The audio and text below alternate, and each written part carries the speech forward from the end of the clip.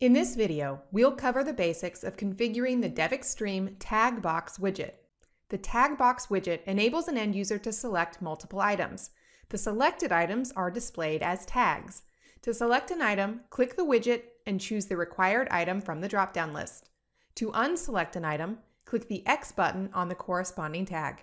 I've already created a simple web page and added references to the following libraries, jQuery, Globalize, and WebApp.js. I've also referenced DevExtreme styles that correspond to the light theme.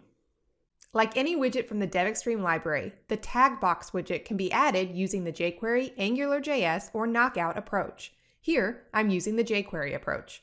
First, we need to add the tag box widget to a page and set up a data source for it. I've already prepared an array of objects representing a list of products. Let's assign this array to the widget's data source configuration option. Let's see how tag box looks with the specified data. As you can see, each item shows the values from our data source.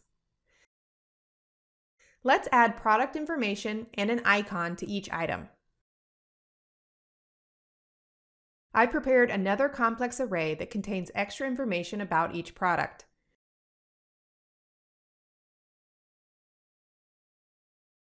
To show data in our item container, I'll define a custom template for tag box items.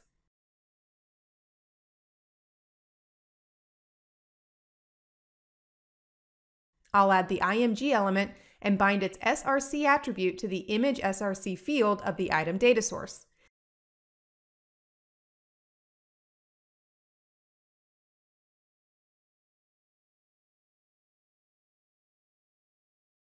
In addition, let's add a product name after the image. All right, let's see the result. Now, each tag box widget item shows the product name and icon. Select one item. And as you can see, the select box editor shows an empty item without any text. Let's specify the name of the data source item field whose value will be displayed by the widget. To do this, I'll set the display EXPR option to name. In addition, in addition, I'll set the placeholder text that will be provided as a hint in the select box editor. All right, let's see the result. And that's it. To learn more about the tag box elements and how to customize them, refer to the documentation on our website. Thanks for watching, and thank you for choosing DevExpress you